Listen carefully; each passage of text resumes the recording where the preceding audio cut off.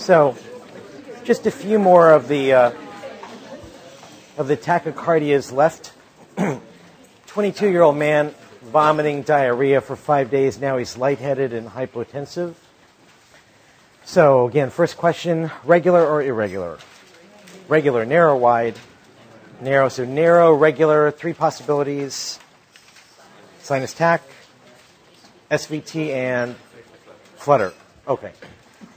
So, and then the, the answer is going to be based on what's the atrium doing? So, what do you notice?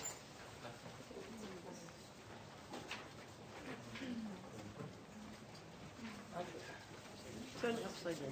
Turn it upside down. Do you see flutter anywhere? No, no, not really. If you look at standard lead four, that little peak on top of the T, that little P wave big? Not a peak, poke.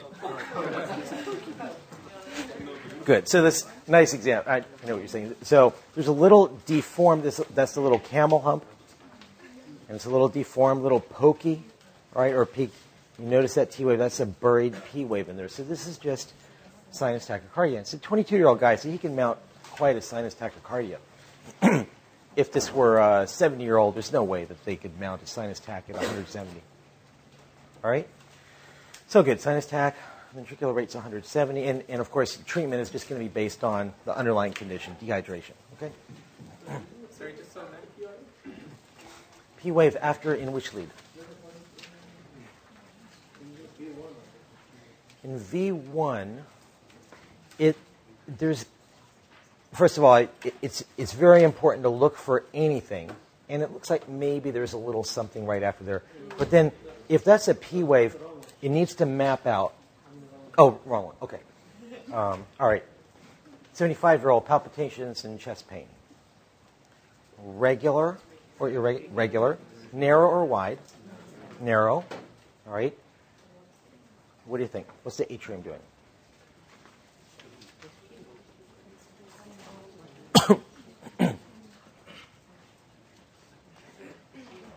How many, anyone think that sinus tach, PQRS, PQRS? No. Flutter? And that leaves one possibility, SVT.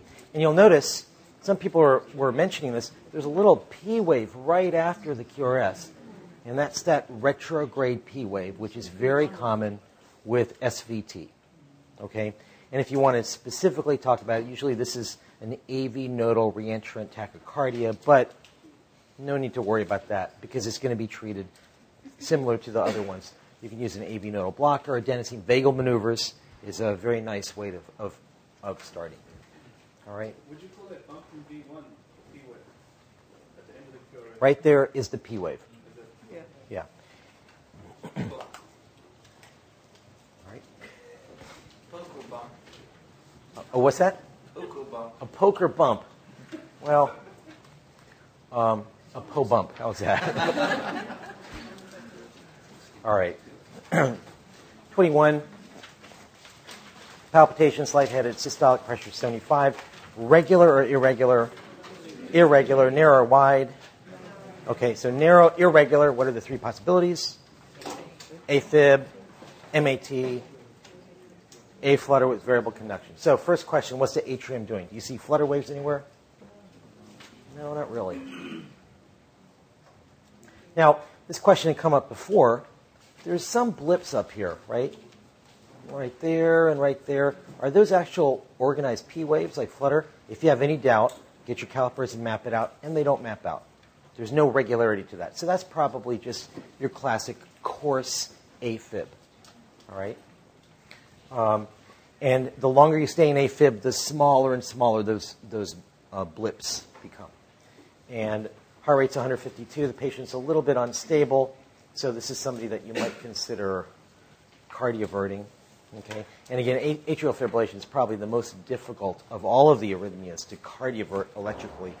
And so there's literature that's recommending that you start at 200 joules instead of 50 or 100. If, if you're going to electrically cardiovert an AFib patient, you're going to usually have to start relatively high. So, okay. 22, 57 year old man, one hour after thrombolytics. And uh, now the nurse gives you this EKG and says, What do you want to do? Put your hands in your pocket. Step back. Good. now, this is a real case. This patient was in our CCU. This rhythm developed. Patient had a stable blood pressure. This was diagnosed as VTAC. Patient got amiodarone and went into asystole and died. What's that? Right, but, but well, they, they called it ventricular tachycardia, so they used amiodarone. Um, why is this not VTAC? It's too slow, right? The rate here is only about 110, so or 105. is too slow for VTAC, and that's a classic mistake people make. If you just glance at this, it kind of looks like VTAC, doesn't it? But it's too slow. Yeah. You mentioned that um, above 120 it's more, most likely VTAC, and below most likely it's the AIVR. What happens when your rate is 120? Is there any way to differentiate between the two? You know, it, it's actually relatively uncommon for VTAC to be at 120 or 130. Usually, ventricular tachycardia is usually at least 140. So, so it's actually not that much of a gray zone. So it's very rare that you would ever encounter that circumstance. All right? Usually, VTAC is at least 140. The rule says 120, but in clinical practice, it'll be very rare that you see VTAC less than 140 or so. Okay. Um, what else can give you things that look like VTAC but a slow rate? There's AIVR. Hyperkalemia can sometimes mimic VTAC. Tricyclic or sodium channel blocker overdoses can mimic VTAC, so just be careful. And again, if you treat those patients with antiarrhythmics, you may have bad outcomes as well. Okay? So be careful. And when in doubt, a little bicarb. It works for hyperkalemia. It works for your sodium channel blockers. Okay? Um, it won't hurt these patients. So if you have some doubts, just try a little bicarb. You may see that QRS suddenly narrow, and you'll have your diagnosis. Okay? All right. 45 year old alcoholic who's been having syncopal episodes. Yeah, question? Yeah. Sorry? This, this, what happened with this patient? You said you should try some. Oh, bicarb, sodium bicarbonate. Yeah. Okay, so what's this? Right, this is Torsade. Um, so this is your, you know, you see the QRS complex is big, small, big, small, bigger and smaller. Bless you. And um, you can appreciate a bit of a prolonged QT up here also. And I think, um, and again, after you defibrillate and get the patient back to sinus, what do you treat them with? Only magnesium's allowed, okay? No lidocaine, no amiodarone, no procainamide. What will those, those are all sodium channel blockers, and what will those do to the QT? It'll make it worse, all right? So and I think I've got some other ones here. So, what do you think? Psychiatric patient, you all have triage where patients go into triage and then so this pa- you know do you have to see psychiatric patients before don't you love that? Oh. So i try to say you're cleared from across the room and just keep go, go see. But this one i actually saw the chart and the chart had some concerns. The triage nurse had written patient, patient is somnolent suicidal um, being manipulative patient is faking syncope so I thought, well, I better go see this patient. And the patient had just recently started some new antipsychotics. So I said, better get an EKG. So we got an EKG, and there's a prolonged QT in there. So I, but there's a lot of artifact also. So I was still trying to stall. So I said to the tech, can you please go back and get me another EKG with a better baseline? So he came back and said, Dr. Mattu, I've got a better baseline for you. Here it is. so, so I said to him, What was the patient doing when you got this EKG? And he said, She was faking syncope. so, so, um, so, yeah, she was going in and out of torsade, and that was causing her syncope. And why was she having torsade in the long QT? It was her new antipsychotic. Okay? So there's a lot of medications that will prolong your QT. Here's a patient that had severe gastroenteritis and had such severe electrolyte abnormalities that she developed a prolonged QT. All right? And there's also some PVCs and a little ST depression, both of which are very characteristic of hypokalemia. hypokalemia is well known to produce a little ST depression and PVCs. so, and she actually had a cardiac arrest from her severe hypokalemia. I don't have a rhythm strip of that.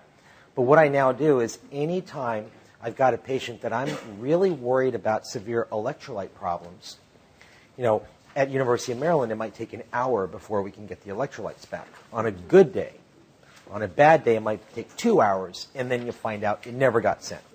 um, so, so now, what I, if I'm really worried about their electrolytes, instead of just letting them lay in the hallway for hours, what I'll do is I'll just get a quick EKG and look at the QT. And if the QT is very long, they need to come back and be put on a monitor right away. If their QT is short, then I don't mind if they wait a little bit. So here's a nice case 51 year old woman with acute gastroenteritis.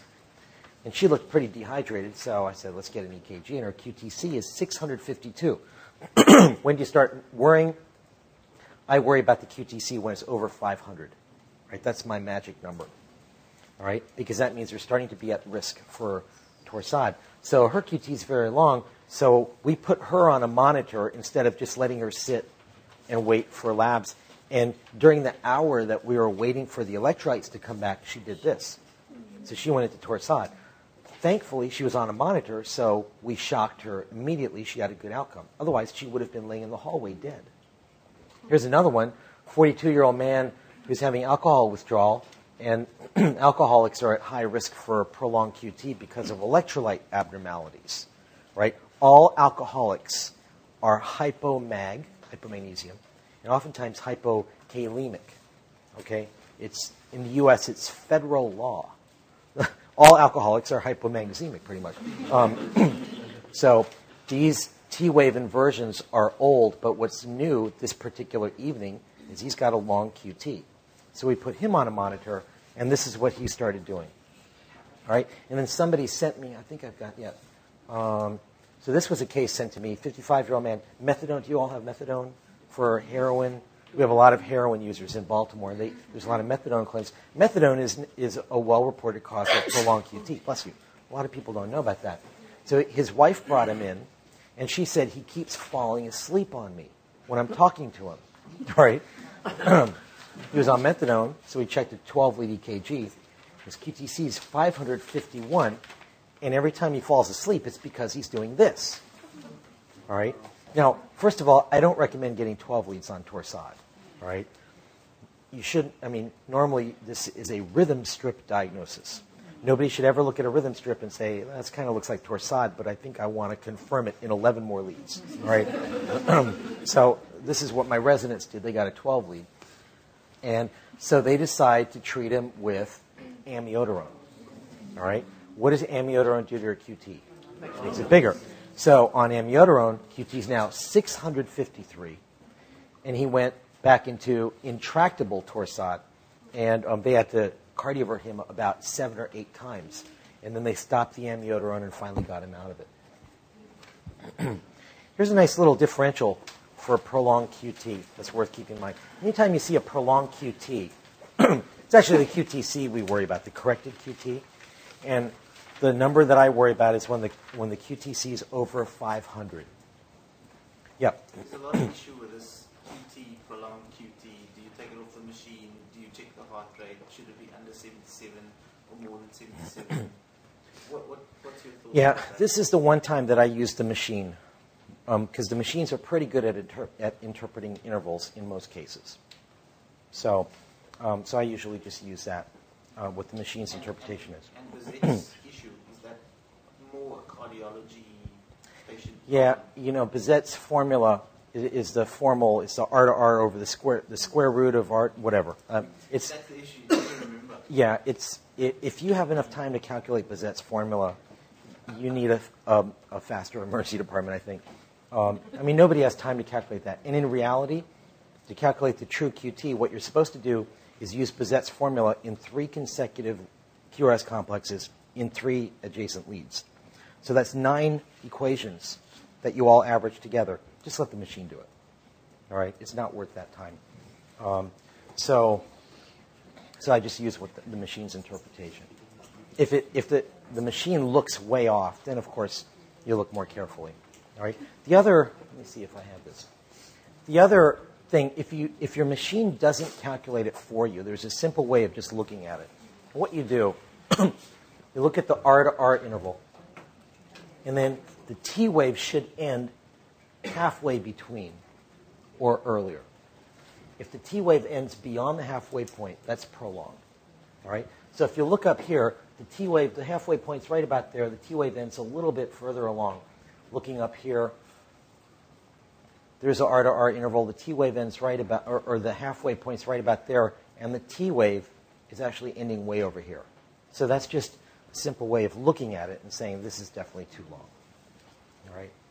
So whenever you see a prolonged QT, think about hypokalemia, hypomagnesemia, hypocalcemia. Take a look at their electrolytes and take a good close look at their medication list.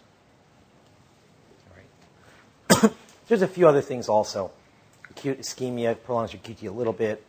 Congenital hypothermia prolongs all of your intervals. Hopefully, nobody here is diagnosing hypothermia on EKG. All right, use a thermometer. okay.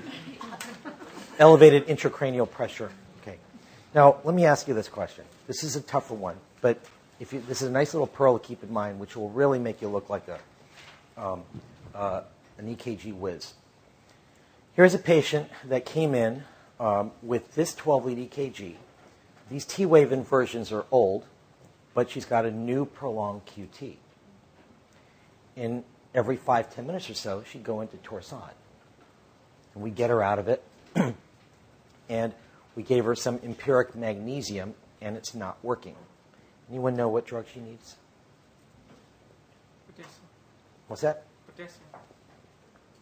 I didn't hear that.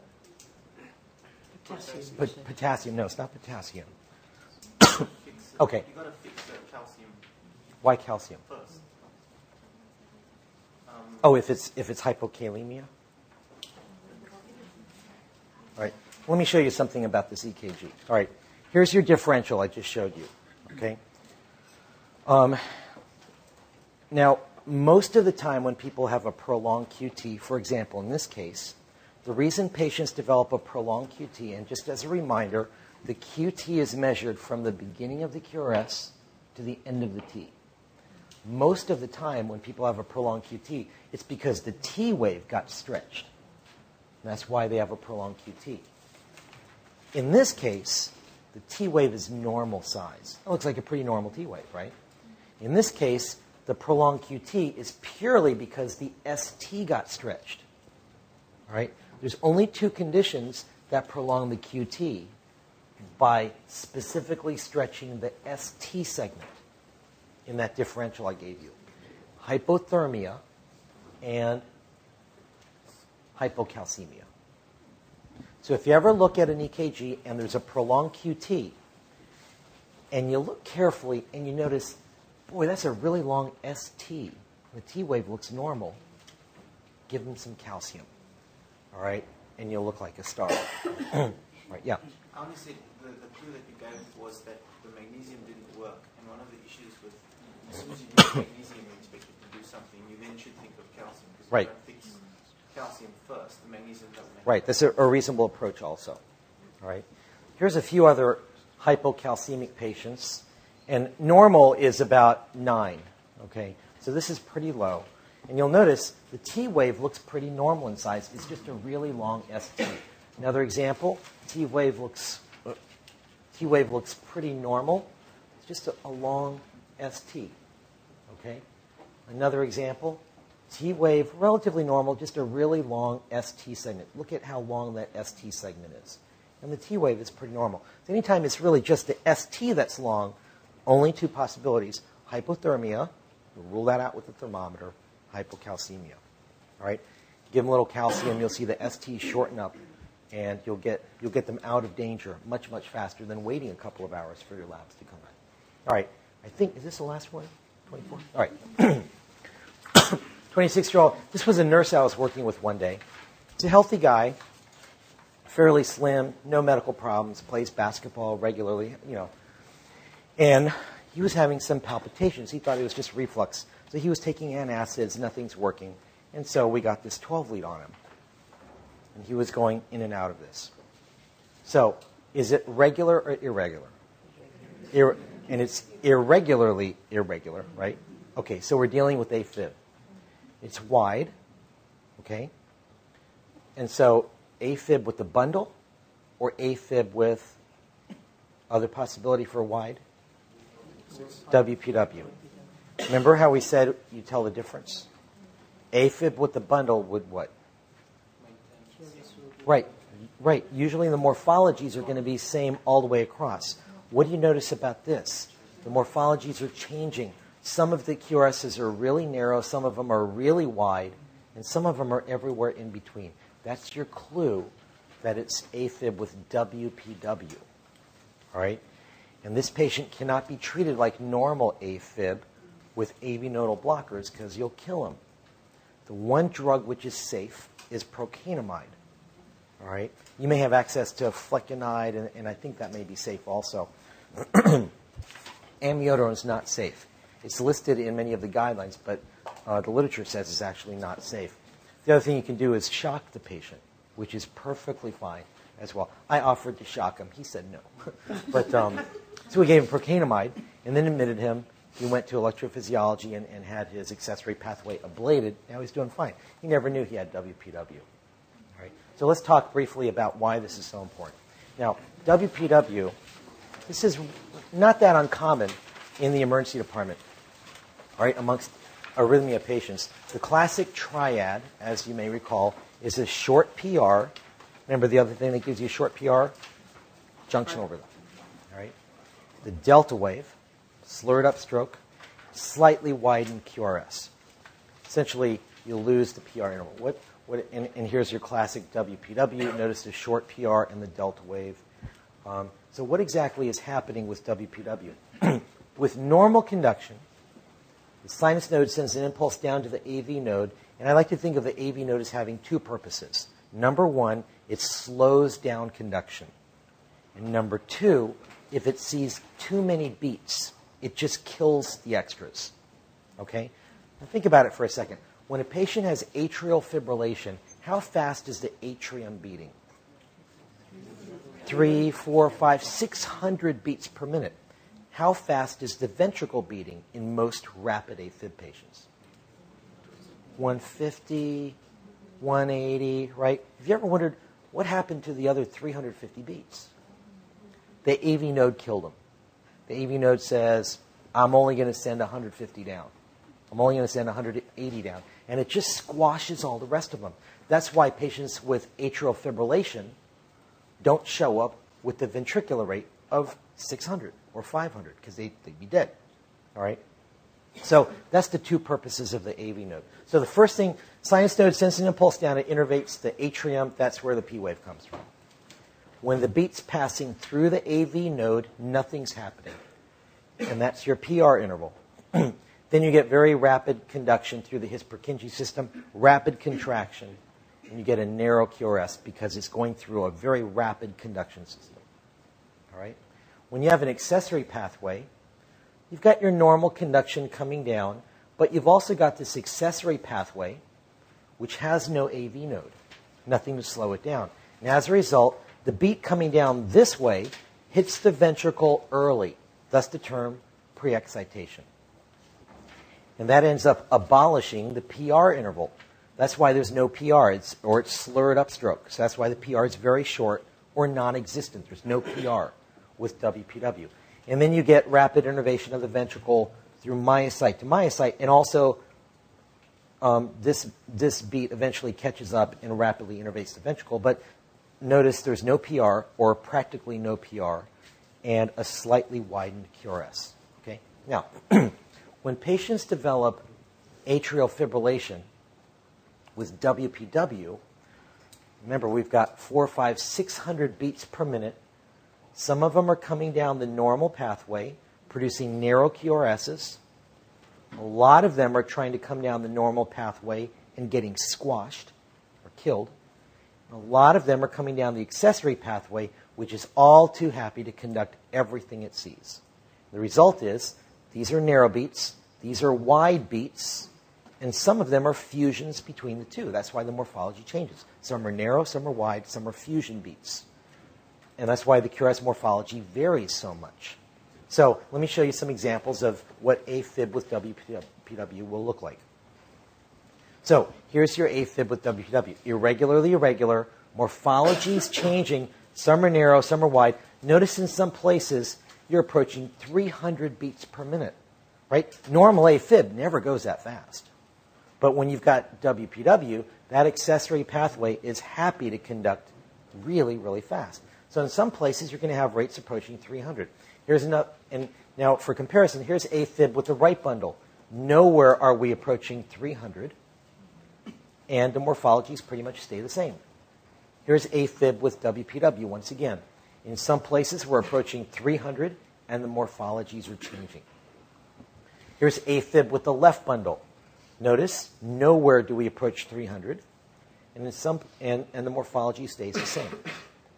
Okay? So, with these patients, give them calcium channel blocker, beta blocker, whatever you want. Not a problem. But when you've got AFib with WPW, notice it's irregular, so it's AFib. Morphologies are changing, and in some places approaching 300 beats per minute. Okay? Now, if you just glance quickly at this, it kind of looks like VTAC, doesn't it? But if you look carefully, it's irregular, so it can't be VTAC. VTAC's not allowed to be irregular. All right, so it can't be. Here's another example. If you glance at this haphazardly, kind of looks like VTAC, right? But look carefully. It's irregular, so it can't be VTAC. And the morphologies are changing.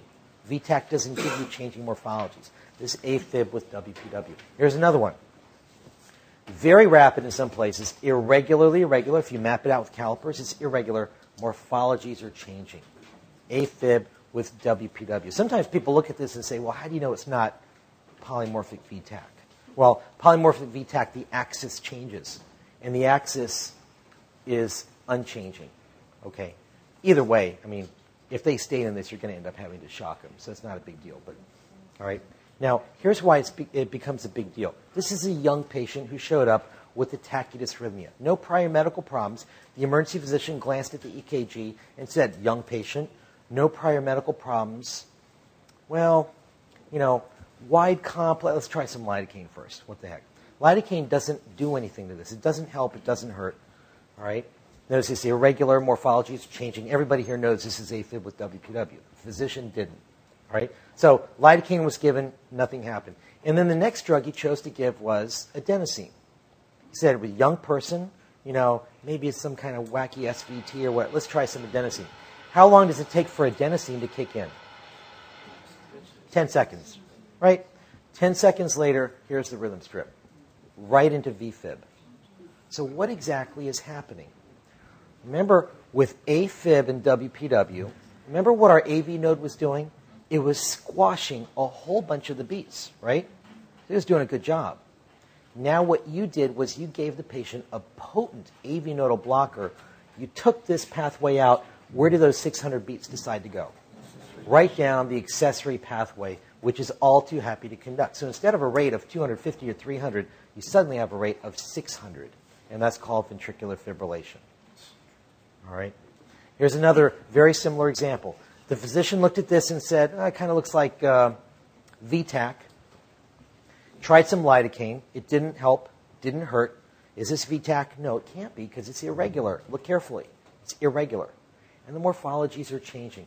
So the second drug he chose to give this young person, he said, let's try some adenosine. Same story. 10 seconds into it, right into VFib. Okay? Unfortunately, he just switched over to unsynchronized cardioversion and shocked him out of it, but very nearly killed the patient. All right?